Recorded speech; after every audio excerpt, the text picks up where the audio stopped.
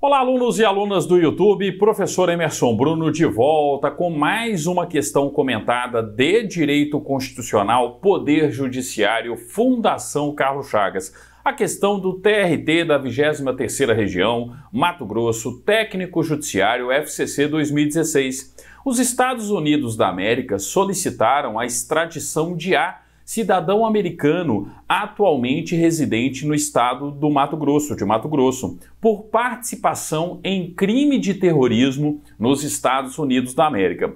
O órgão competente para processar e julgar o feito é. Então, nós temos uma extradição solicitada por um Estado estrangeiro, uma extradição solicitada pelos Estados Unidos ao Brasil, à República Federativa do Brasil. De quem é a competência para julgar extradição solicitada por Estado estrangeiro?